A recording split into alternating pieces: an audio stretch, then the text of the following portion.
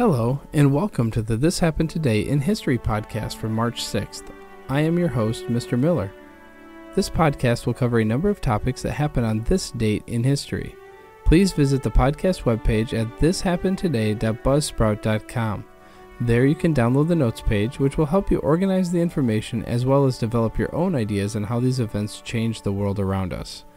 If you're interested in hearing more, please consider subscribing so you will not miss out on what happens tomorrow in history. At 1 a.m. on Monday, March 6, 1933, President Roosevelt issued a Proclamation 2039 ordering the suspension of all banking transactions effective immediately. He had taken the oath of office only 36 hours earlier. The terms of the presidential proclamation specified that no such banking institution or branch shall pay out export, earmark, or permit the withdrawal or transfer in any manner or by any device whatsoever of any gold, silver coin, or bullion or currency, or take any other action which might facilitate the hoarding thereof. Nor shall any such banking institution or branch pay out deposits, make loans or discounts, deal in foreign exchange, transfer credits from the United States to any place abroad, or transact any other banking business whatsoever.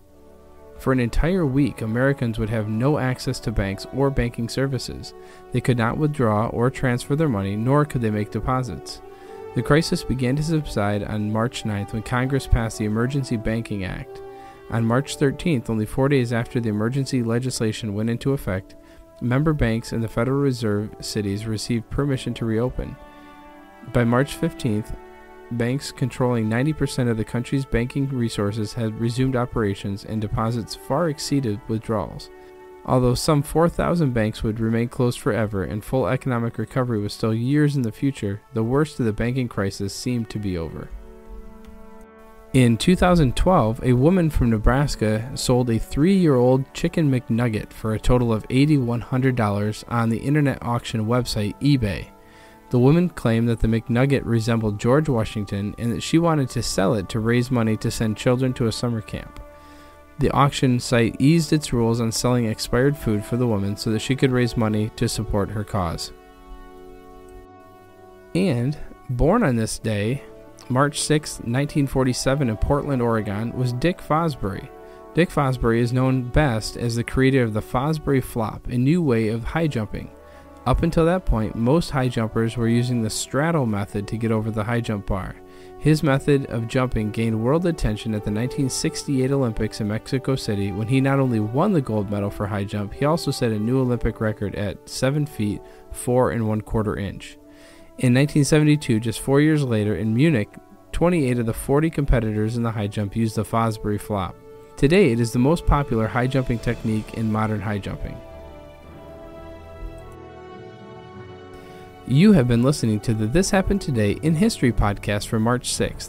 I thank you for listening and I hope that you have enjoyed learning about the historical events from the past. Thank you today to the following websites for the information regarding the topics thepeoplehistory.com, Bank Holiday of 1933 by Robert Jabaley in the Federal Reserve Bank of Boston at federalreservehistory.org, the music used as a background track for this podcast is Americana, created by Kevin MacLeod on Incompetech.com. If you enjoyed this information and would like to hear more, please consider subscribing, as this will help keep the historical events in your feed in the morning for each day. I hope you have a great day.